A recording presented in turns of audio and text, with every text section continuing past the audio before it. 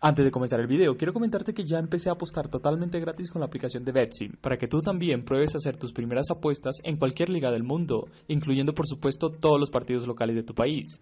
Cuando acumules suficientes monedas, puedes entrar a la página web betsim.net y reclamar premios como dinero en PayPal, computadores, celulares, consolas, entre otros fabulosos premios.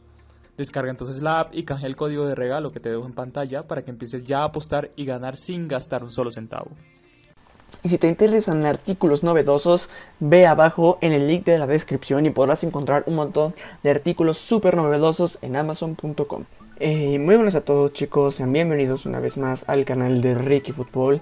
El día de hoy tenemos una noticia bastante interesante para todos aquellos aficionados del equipo de las Chivas.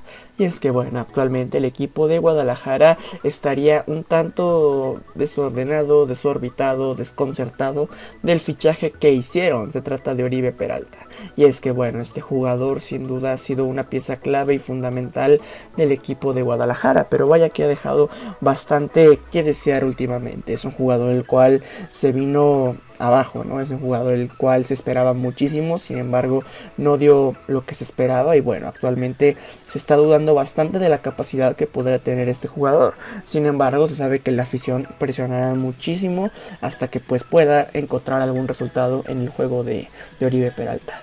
En mi opinión, creo que es un jugador el cual viene a Guadalajara a ser un capitán, viene a tratar de hacer las cosas distintas con el equipo de las Chivas. Sin embargo, creo que es algo difícil cuando el hombre no tiene goles. El delantero viene a meter goles, el delantero viene a jugar, viene a hacer las cosas interesantes, pero creo que en, este, en esta ocasión no está haciendo el trabajo como realmente se debería.